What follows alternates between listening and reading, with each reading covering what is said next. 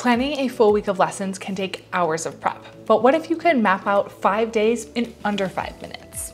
In this video, I'll walk you through how I used EdCafe AI to create a full five-day lesson plan, plus some quick interactive resources to share with students based on those lessons. To get started, I use the website EdCafe AI. It's free to sign up and create an account, and once you're inside, you'll get access to a whole bunch of different tools. I'll cover some of these later to add on to our lesson plan, but for now, let's just stick to that lesson plan to make those five different lessons. So normally generating five different lessons for a whole week can take an entire weekend. However, with EdCafe, I can generate that in just a couple minutes and have time to edit and adjust to my own teaching style.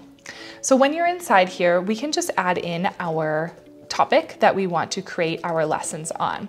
If you also would like, you can paste in a text, add a web page, or use a file instead of using that topic. But we're just gonna stick with that topic and then we can also add in any additional instructions. So feel free to be as specific as you would like. For now, we just want to plan five lessons to span the week for our fifth grade. Then let's make sure we check so that we can get some lesson resources from Google and be sure to add in our NGSS standards. That way we don't have to worry if our lessons meet those requirements or not. It's already added inside.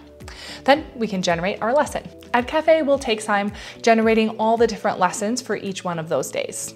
But we can scroll through and view everything that is included in our lesson plan. So we have lesson one, some objectives, we see that it's aligned to those standards, some different vocabulary, and some different online resources along with the whole lesson procedure.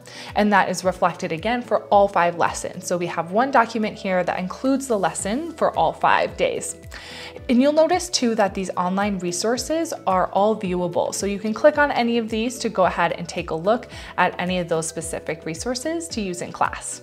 Back over in our lesson plan feature, we can also review and take a look. And if there's any edits that we want to make, you can do it right inside of this block. So see that we can just enter and adjust just like it was any other document.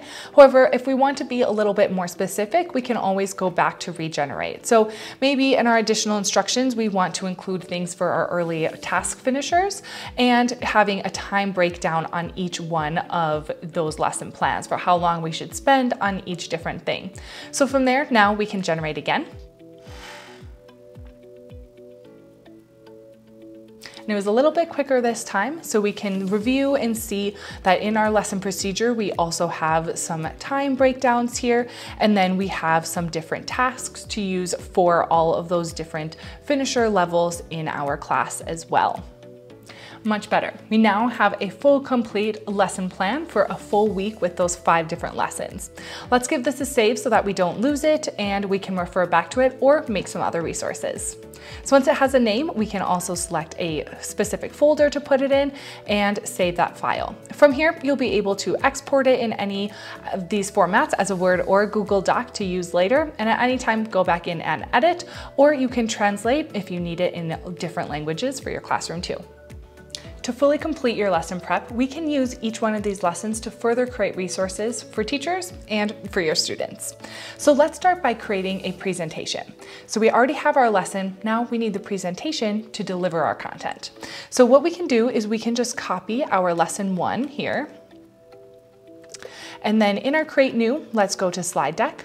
And from here, we can just paste in our whole lesson plan, add in any additional instructions, your slides, pick a theme, and generate, and you're ready to go. Review your presentation, edit it as needed, and then you can give it a quick save to save it in your library, and then you can export it as a Microsoft PowerPoint or a Google slide so that way you can present and edit further. For further in-depth tutorial on the slide deck maker, take a look at the video linked up above. Next, each lesson already comes with a vocab list. We can use that list to create flashcards so that students can study those new terms right away. So just like with our presentation maker, let's copy our vocab words. Then we can go into flashcards and we just, same thing in our text, we can paste in those vocab words. Pick which kind of template you want to use. Let's stick with term and definition and then just generate those flashcards. Same thing as before, review, edit, adjust any of these vocabulary words. You can even add audio. And once it's saved, you can then share it with students. That way they can begin practicing those new terms. So when you share it with students, again, you can export it as a hard copy, or you can share it with them digitally. That, they, that way they can review on their own devices on their own time. Now that we have the lesson plan, the presentation to present with, and flashcards for students to study, let's generate an assessment to share with students so that way we can check their understanding after class.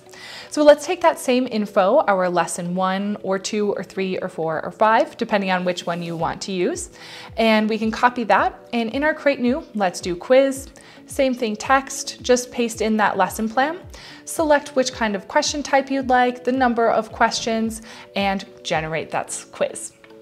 I know I'm going through this pretty quickly, so if you want more information on the quiz feature, take a look at the video linked up above. But once everything's generated, take a look, review, edit, adjust the explanation, the questions, etc. Save it as a file in your EdCafe library, and then go ahead and share it with students. So you can share it digitally with students, so that way they can go ahead and take part in the quiz. As we can see here, they can go ahead, select each one of these, then they can submit their answers. And back on the teacher side, you're able to review all of those responses to keep an eye on how your students are doing. There's so many other tools and resources that you can use to create for your students, like the chatbot, a great way for students to learn on their own in a controlled, safe environment. So what I like is that everything stays in one place, your lesson plans, your slides, your flashcards, your quiz, even that chatbot if you want. No jumping across platforms to generate content and share it with students. And that's it. In just a few minutes, I've gone from a blank page to a complete five day lesson plan, plus a presentation, flashcards, and a quiz ready to share with students. With EdCafe AI, you don't just save hours of prep time, but you also get those flexible resources that you can adapt to your teaching style and to your students' needs. Try it out for your next unit to cut down on planning time and boost your classroom engagement. Thank you so much for watching. Don't forget to like this video, hit that subscribe button, and turn on notifications. That way you don't miss another one of our videos on AI tech tips for your classroom.